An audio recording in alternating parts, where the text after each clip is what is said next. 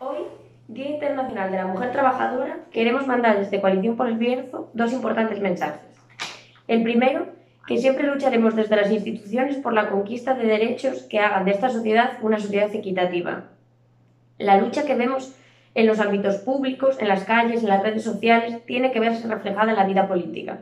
Siempre estaremos del lado de lo justo y conseguir una igualdad real entre mujeres y hombres es una de nuestras prioridades. Jamás olvidaremos que los diferentes feminismos nos llevan a un mundo mejor, más libre y en el que poder vivir sin miedo.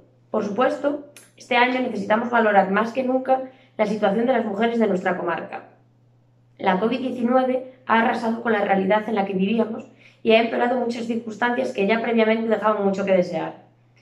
Los trabajos de cuidados se han incrementado con el cierre de centros de día, de colegios, cuarentenas, la propia enfermedad, etc el paro, la brecha salarial, la pérdida de trabajos de contacto directo muy feminizados, como por ejemplo la limpieza y los cuidados, que ya eran precarios, el aumento alarmante de la violencia de género por el confinamiento, todo ello empeorado con la crisis sanitaria, pero que ya era un problema sistémico. Necesitamos la lucha igualitaria, incluso con mayor intensidad en esta pandemia.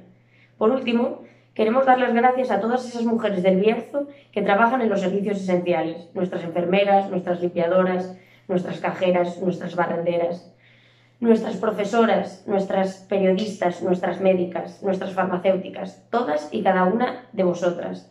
Sin vuestro trabajo no estaríamos saliendo de esto. Gracias por vuestro compromiso y vuestra fuerza.